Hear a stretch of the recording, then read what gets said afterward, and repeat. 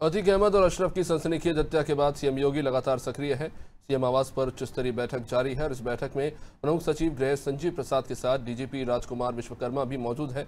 मुख्यमंत्री ने सारे घटनाक्रम की जानकारी ली और आवश्यक निर्देश दिए।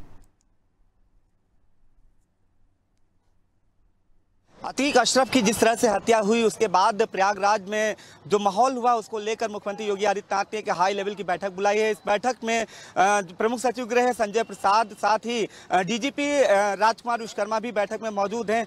पल पल की जानकारी ली जा रही कि प्रयागराज में क्या घटना हुई, जिस तरह से दोनों की हत्या हुई और तीन आरोपी थे उनको हालाँकि सभी को गिरफ़्तार कर लिया गया, उनसे पूछताछ की जा रही।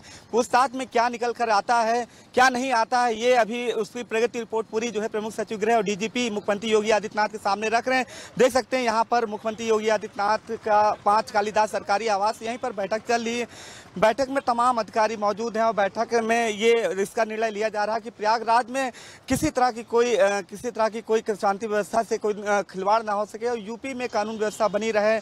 इस बीच मुख्यमंत्री योगी आदित्यनाथ भी लोगों से अपील कर रहे हैं, उत्तर प्रदेश वासियों से अपील कर रहे हैं कि सद्भावना बना के रखे, किसी तरह के कानून से खिलवाड़ ना करें। लेकिन यहाँ पर प्रमुख सचिव गृह और डीजीपी खुद मौजूद हैं और पल पल की जानकारी अब तक की क्या क्या हुआ है प्रयागराज की घटना को लेकर। मुख्यमंत्री योगी आदित्यनाथ के साथ इस बात को लेकर बैठक चल रही है। कैमरामैन शिवानशु के साथ अनुप चौधरी अनारी टीवी, लखनऊ।